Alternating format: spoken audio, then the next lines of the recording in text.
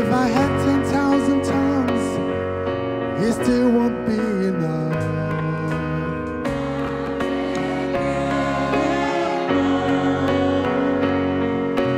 Chukuna my relay.